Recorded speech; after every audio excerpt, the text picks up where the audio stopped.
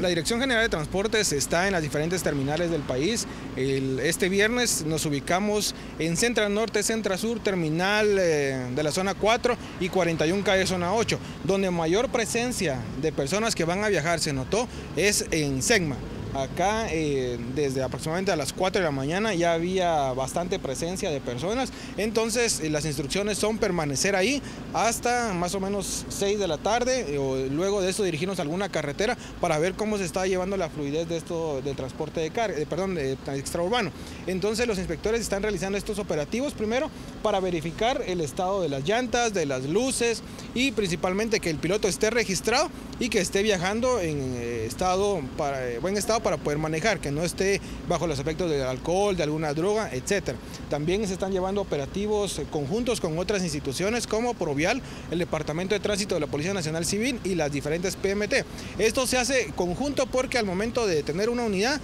PMT hace la prueba de alcoholemia, eh, PNC pide los documentos como licencia de conducir, ver que no sea menor de edad, que sí esté en su capacidad y Dirección General de Transportes mm, para ver que sí el autobús está registrado, que no es pirata, que tiene su póliza de seguro vigente y que no están cobrando más de lo autorizado. Importante recalcar que durante las fiestas de fin de año, Navidad o Año Nuevo no hay incremento a la tarifa y si en dado caso les cobran más de lo que habitualmente les están cobrando, lo pueden denunciar al teléfono 1520 o bien nos pueden enviar a nuestras redes sociales arroba DGTGuate una fotografía, pero el dato principal para la denuncia es el número de placa.